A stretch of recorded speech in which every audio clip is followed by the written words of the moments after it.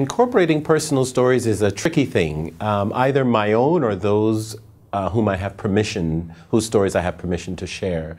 Uh, because I always have to ask, you know, the, and again, this comes back to the accountable question. I have to ask, is this sermon more about God or me?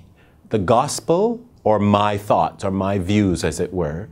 Um, is, is this sermon, um, as best as I can, uh, determine the truth about the gospel? Do I really believe what I'm saying?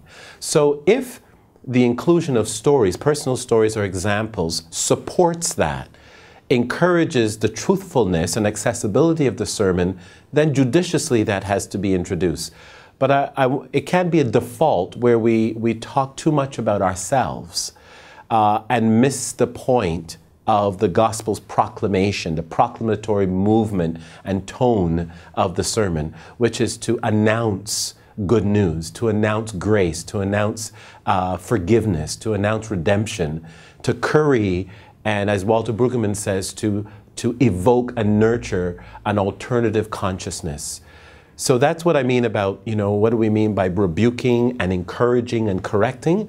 It has to be a very skillful dance that takes seriously the sensibilities of the people uh, with whom one is sharing life and preaching to, but also is accountable to the potency of the gospel and the movement of the Spirit.